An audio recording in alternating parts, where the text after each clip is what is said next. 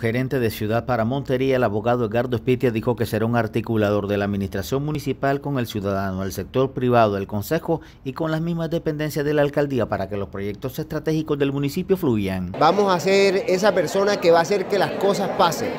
Voy a estar deseando, voy a estar acudiendo a cada uno de los secretarios a ver cómo van esos procesos, a ver cómo van esos proyectos en cada una de las secretarías a darle un impulso a esa milla extra que necesitan esos proyectos para salir y para que los ciudadanos logren evidenciarlo y logren palparlo en cada uno de sus corregimientos, barrios, veredas.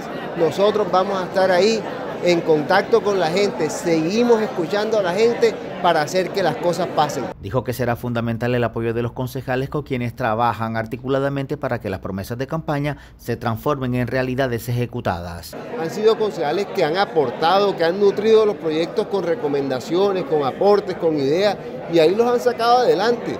Nos impresiona y de grata manera un consejo renovado en un 90% que trabaje a ese ritmo que ha trabajado este consejo.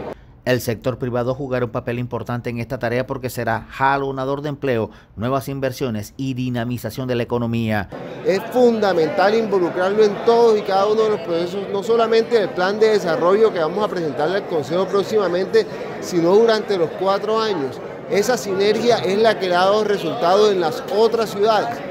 Las ciudades que han entendido que la sinergia entre el sector privado y el sector público genera y jalona desarrollo son las ciudades que hoy son modelo a seguir para otras eh, eh, para otros municipios. El gerente de Ciudad es abogado con especializaciones en Derecho Administrativo y Constitucional, magíster en Derechos Humanos, Sistema de Protección y brazo derecho del alcalde Hugo Gergelén.